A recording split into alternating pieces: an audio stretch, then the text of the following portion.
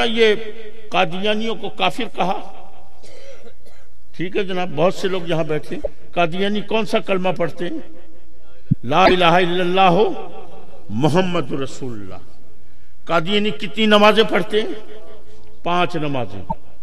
वो उन अपनी नमाजों से पहले अजान देते हैं। गो अब आइन के आइन पाकिस्तान के आइन के अंदर कादियानियों को मना कर दिया गया है कि लाउड स्पीकर पे आजान नहीं दे सकते।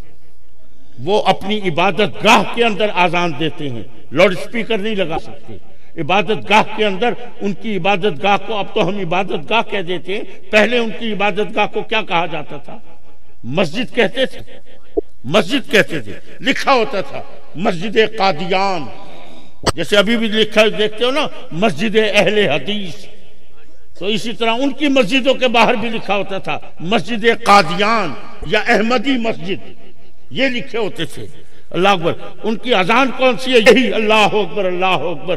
अशद अशद मोहम्मद रसुल्ला हयला हयला अल्लाह अकबर अल्लाह अकबर अल्लाह अकबर। यही अजान वो अपनी इबादत गाह में देती हैं। नमाज़ यही है, अजान यही है, कुरान यही है, कलमा यही है। अल्लाह अकबर, उनकी जितनी भी ये हज, जक़ात, रोजा सब कुछ यही है। उनसे पूछो तुम्हारी शरीयत का नाम क्या है? वो मिर्ज़ा को नबी मानते, रसूल नहीं मानते। नबी मानते, रसूल नहीं मानते।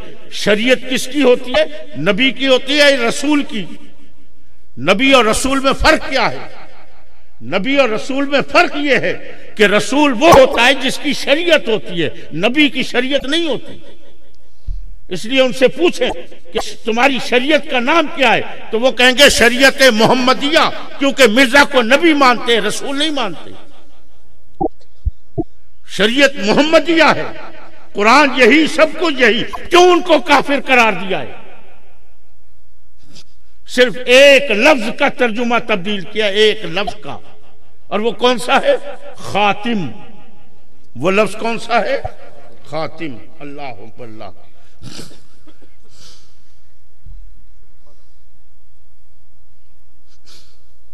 हुजूर को खातिम नबीन मानते हो? किसी से उससे पूछना, कादियानी से तुम मानते हो? वो कहेगा, मानते हैं। किसी कादियानी से पूछ लो। वो कहेंगे, मानते हैं खातिमनबीन मानते हैं। अल्लाह अल्लाह। कुरान पढ़ते हैं, उसमें खातिमनबीन पढ़ते हैं। हुजूर को मानते हैं। लेकिन उन्होंने उसका क्या किया? सिर्फ़ खातिम के लफ्ज का तर्जुमा तब्दील कर दिया। क्योंकि हम तर्जुमा क्या करते हैं खातिम का? हम वो तर्जुमा करते हैं जो मेरे नबी ने बताया है। हम अपनी तरफ़ से मन घड़त तर्जुमा नहीं करते। और मेरे नबी ने खातिम का तर्जुमा क्या फरमाया? फरमाया, अना खातिम नबीन वला नबिया बादी। अल्लाह अकबर, खातिम का तर्जुमा यह किया कि वो वो नबी के जिसके बाद कोई कोई नबी नहीं आता। हुजूर ने तर्जुमा कर दिया। लेकिन ये क्या करते ये कादियानी का तर्जुमा करते हैं? जरा उठाओ, कभी अरबी की लगत। उसमें देखना खातिम का क्या तर्जुमा लिखा है। उसमें खातिम का तर्जुमा खत्म भी लिखा है। जिस पर कोई चीज़ खत्म हो जाए, उसको भी खातिम कहते हैं। और खातिम का एक और तर्जुमा भी है। और वो क्या है? खातिम उस हीरे की अंगूठी को कहते हैं, जो जेवरात में चाहे कितने ही जेवरात पड़े हों, लेकिन तमाम जेवरात में अपने हीरे की वजह से वो इस तरह चमक रही हो, दमक रही हो, कि सारे जेवर हेच हो जाएँ। और वो सबसे आला नज़र आए।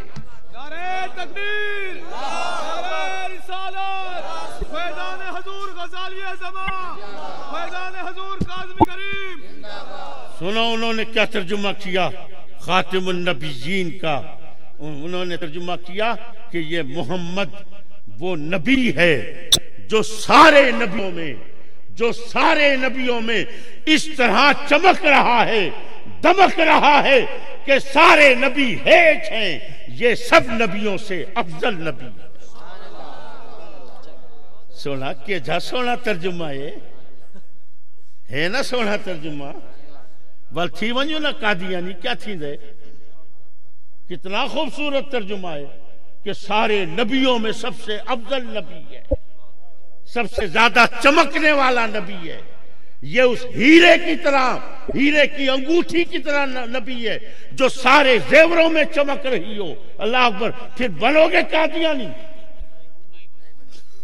हसीन तर्जुमा है खूबसूरत तर्जुमा यार छोड़ते भाई मेरे ऊपर रहम कर दो यार सारे पासे या चुम्मन चामड़ ही लगे खड़े कोई गाल कर कोई सुनता कह नहीं बाबा लोग को आते हैं, अल्लाह के वास्ते नमाज़ पढ़ो, ना सही, हाथ चुमवाओ, पैर चुमवाओ, नमाज़ कोई ना पढ़ तुम।